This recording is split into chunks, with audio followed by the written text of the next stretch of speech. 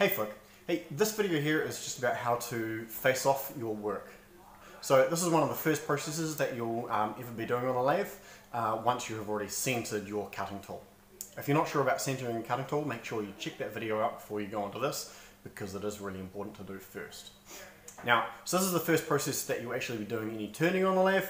So uh, what that means is basically you'll be getting a piece that is um, rough cut like this one here can we get a focus on that? No. Anyway, you'll get the idea. All right, and it takes it from something like this to something like that. So it's nice and shiny on the top, and it's also nice and perpendicular on the sides. All right, so no matter what your edge looks like, it's always going to end up being nice and square across the top of there. So what we have here is we have a section of brass that's been placed into the lathe that's previously been cut with a cold saw. And now the guard is down, we're just turning, oh, we're bringing the cutting, cutting tool in until it makes contact, and then we're going to wind it back until it's not making contact anymore, and just push it in closer a millimeter or two. Now with that in place, we can just start winding it from the outside to the center.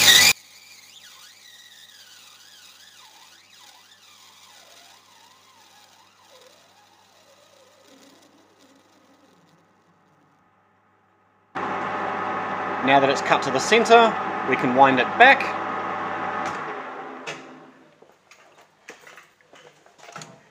And what we have there is a nice face-off section that is now precisely perpendicular.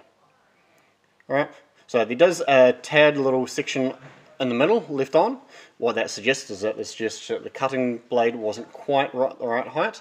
If it was a quarter of a millimetre above, then that would have tidily finished that off. But as it is, we've got a face-off section and we can now start working on the rest of our project.